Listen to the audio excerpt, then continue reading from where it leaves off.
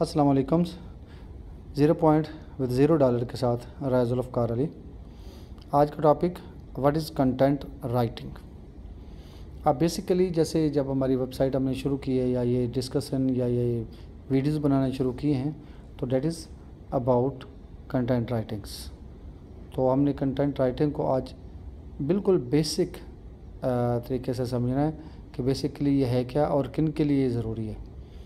तो जब हम लिखते हैं, लिखने को हम क्या कहते हैं राइटिंग और कोई भी चीज़ जब हम लिखते हैं तो उसको हम कंटेंट कह सकते हैं।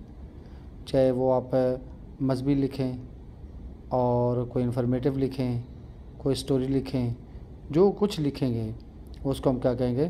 कंटेंट राइटिंग कहेंगे। अब ये किसके लिए ज़रूरी है?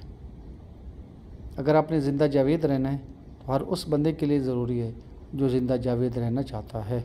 क्यों? कि after all after some passage of time हर बंदे ने अल्लाह को प्यारे हो जाना है और इसके बाद उसकी जो लिखी हुई वो चीज़ें हैं, जो अच्छी अच्छी चीज़ें हैं, जो इंसानियत की खिदमत में काम आती हैं तो वो वहाँ पे, यहाँ पे ज़िंदा रहेंगी और लोग उससे मुस्तफ़ होंगे और उसका आपको फ़ायदा पहुँचता रहेगा। तो बेसिकली कंटेंट राइटिंग को आप एक मकसद लेके समझें। मकसद का अपने अपने को विजन बनाएँ, मकसद लें और इसके बाद उसको राइट करें और जो ह्यूमनिटी के, इंसानियत के फ़ायदे के लिए वो चीज़ें लिखें, जो इंसानियत के फ़ायदे के लिए हों, लोगों के फ़ायदे के लिए हों इंफॉर्मेटिव हों नॉलेज शेयरिंग हो और फॉर्मेट उसका कौन सा हो? स्टोरी जैसा हो टेलिंग स्टोरीज़ तो वो आपके लिए बहुत फ़ायदेमंद है, आपके लिए भी और आपके आने वाली नस्लों के लिए भी और आपकी यादगार के लिए भी। क्यों? कि आप देखें कि ये कब से शुरू हुई कंटेंट राइटिंग तो ये तो बहुत अरसा से जब से इंसानियत वजूद में आई तो उसके बाद ये लिखना लिखाना शुरू हो गया। गो कि उस वक्त वो इतना इस तरह फार्मेट में नहीं था जो जो इस वक्त करंट फार्मेट है तो पहले मैनस्क्रिप्ट लिखे हुए थे, जो हम सहीफ़े देखते हैं, वो भी किसी मुख्तलिफ़ जगह पे, किसी तरीक़ों से लिखते थे।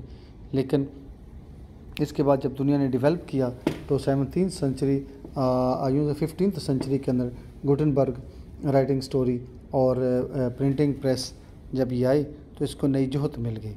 एक नया तरीका मिल गया। लिखने लिखाने का तरीका मिल गया। और इसके बाद जब सेवनटीन एटीन सेंचुरी है तो इसको हम जर्नलिज़म का एक यूँ कह लें एरा शुरू हो गया, जिसके अंदर इसकी राइटिंग के तरीक़ार को मज़ीद बेहतर किया गया। और इसके बाद आपके पास जब पेपर आ गया तो इसकी राइटिंग भी बेहतर से बेहतर होती गई। पहले हम मुख्तलिफ़ देखते हैं कि तरीक़ों से लिखा जाता था तो वो कुछ अवेलेबल होते थे नुस्खे, कुछ अवेलेबल नहीं होते थे नुस्खे।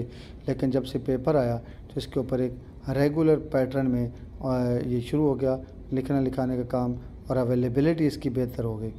जबकि पहले वाली जो नुस्खा जात हैं, उनको फिर ट्रांसफ़र किया गया पेपर के ऊपर तो उनकी अवेलेबिलिटी आसान होगी।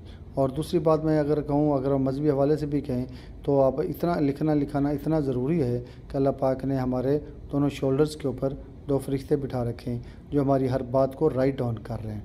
और रोज़ मैशर, वो बुक आपके सामने ला के रख दी जाएगी कि ये देखें जी, ये आपने ये ये करतूत, ये ये अच्छे अमाल, ये किए थे और अब बुक आपके सामने होगी और आपको सारी चीज़ें याद हो जाएँगी। तो ये है, देखें, इसी तरह हमें हुक्म दिया गया है कि अगर आपके दो बंदों के दरमियान कोई माहा एग्रीमेंट लिखा जा रहा है तो वो भी लिख लें और उसके ऊपर उसके ऊपर गवाह कर लें। तो these are all content writing अब देखें मज़े की बात है कि अगर आपको कुछ लिखना नहीं आता और अगर आपके सामने एक एग्रीमेंट लिखा जा रहा है तो हम फिर क्या करते हैं? हम स्पेशल लिखने वालों के पास जाते हैं। हम खुद नहीं लिख सकते। तो that is amazing but tragic कि हमें लिखना आना चाहिए। तो ये लिखने लिखाने का काम इसलिए। और सेकंड बात जो मैं कहना चाहता हूँ, क्योंकि ये बेसिक है और बेसिक कंटेंट राइटिंग की ज़रूरत के बारे में मैं बात कर रहा हूँ कि कंटेंट राइटिंग ज़रूरी क्यों है और हर बंदे के लिए ज़रूरी है। आपकी अगर हेजिटेशन है लिखने लिखाने की तो उसको दूर करेंगे। नेक्स्ट वीडियो में हम बताएँगे कि हमने कंटेंट राइटिंग को हमने बेहतर कैसे करना है, उसकी क्रिएटिंग कैसे करना है, उसको इफ़ेक्टिव कैसे करना है, उसके कंटेंट को बेहतर से बेहतर कैसे करना है। तो ये हम आइंदा की वीडियो के अंदर हम डिस्कस करते रहेंगे। तो ये ये चीज़ें कि बेसिक मैं आज आज डिस्कस करना चाहता हूँ कि कंटेंट राइटिंग हर बंदे के लिए ज़रूरी है। जो पढ़ा लिखा बंदा है और उसके लिए पढ़ना ज़रूरी है।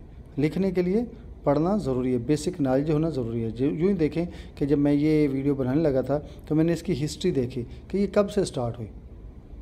तो पहले भी मैनस्क्रिप्ट तो आते थे। नुस्खा जात जो हमारे, जो हमारा दीन कहता है कि पहले हज़रत इब्राहिम के और कितने सहीफ़े हैं, वो भी थे ना अवेलेबल लेकिन वो पेपरों में नहीं थे। वो खालों पे लिखे हुए थे और मुख्तलिफ़ जगह पे लिखे हुए थे जो कि हर बंदे के एक्सेस नहीं थी अवेलेबिलिटी नहीं थी। लेकिन with the passage of time जब फिफ्टीन सेंचुरी के अंदर पेपर की आ, आ, प्रिंट इन्वेंशन हुई तो इसके बाद क्या हुआ कि इसकी अवेलेबिलिटी ईजी होगी और फिर सेवनटीन एटीन सेंचुरी के अंदर जब जर्नलिज़म डेवलप हुआ तो इसके बाद हर लोगों ने लिखना शुरू कर दिया। अब हम हिस्ट्री कहाँ से हमें मिलेगी? कंटेंट राइटिंग से मिलेगी ना? अगर वो लोग ना लिखते तो हम कहाँ से हमें बोलता कि हमें कहाँ से पता लगता कि हमारी हिस्ट्री क्या है? हर किस्म की हिस्ट्री। तो इसलिए मेरी ये बेसिक आपसे रिक्वेस्ट है कि आप content writing, just only not information this is knowledge sharing. और नॉलेज शेयरिंग को हमने किस अंदाज के अंदर लिखना है?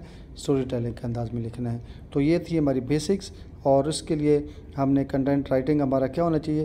क्रिएटिव होना चाहिए इफ़ेक्टिव होना चाहिए और इसके लिए आपके लिए सबसे ज़रूरी क्या है कि आपकी वेबसाइट होनी चाहिए सोशल ब्लॉग ये बहुत ज़्यादा डिफरेंट प्लेटफॉर्म पे आप लिख सकते हैं, लेकिन अगर आपकी अपनी वेबसाइट है तो फिर आपको वहाँ पे लिखने के लिए कोई नहीं रोकता, आप धड़ाधड़ लिखते रहते हैं और इन्जॉय करें।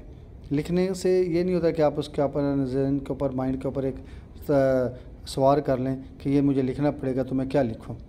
आप वो चीज़ें लिखें जो आपके नॉलेज है, इसके बारे में आप समझते हैं, जानते हैं और उसके बारे में नहीं भी जानते तो पहले पढ़ लें, दस बारह आर्टिकल पढ़ लें और इसके बाद कुछ ना कुछ ज़रूर लिखें। कैसे लिखेंगे, ये हम नेक्स्ट वीडियो के अंदर बताएँगे। तो आज मैंने हिस्ट्री के बारे में कि कंटेंट राइटिंग ज़रूरी क्यों है और इसकी हिस्ट्री क्या है। इसके बारे में डिस्कस किए।